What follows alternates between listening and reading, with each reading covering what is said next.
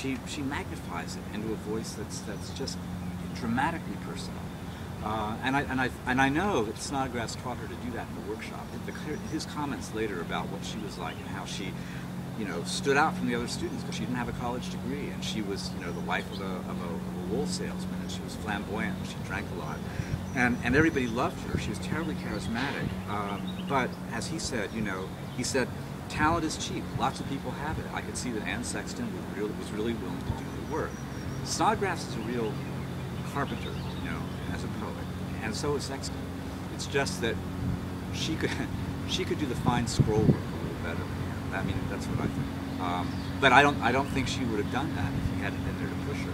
And that relationship lasted a long time. They they, they were in touch practically at the end. And so uh, I mean I, I, I, mean there there are plenty of other people who talk about the Snodgrass workshops at Antioch, at Antioch as being um, absolutely pivotal to their careers. um, well, uh, is there anything else that you would possibly like to add to that would be?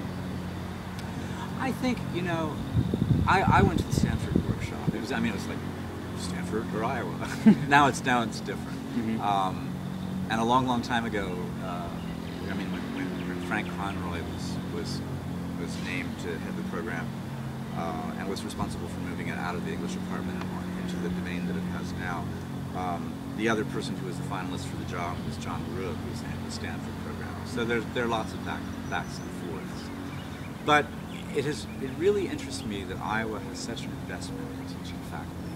Um, you know, Dean Young, who's been given a new card, I guess everybody knows that now. It's amazing, amazing story, um, literally.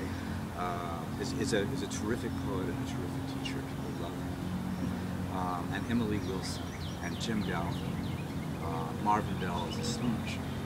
Uh, they and they they you know they renew themselves in the work that they do, and they make and, it, and it's absolutely clear within the, the and history of the workshop that they have to have time and space to do this work.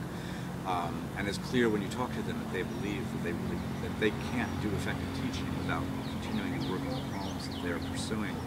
Um, but but they are utterly dedicated to effective teaching. And I, I um, you know, I, I just it's so easy to be in an academic poetry class and to imagine this is just some other thing that you learn, and somebody else off somewhere else is doing it, and apparently they're good, and so you have to learn why.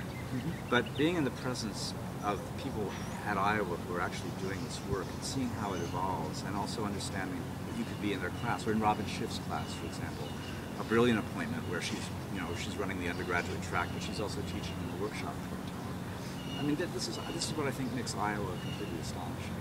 So it's part of what's a thrill to do. Well, I'd like to thank you for taking the time sure. to sit down with us sure. for this interview. I'm delighted. I hope it uh, I hope it does what you need it to do.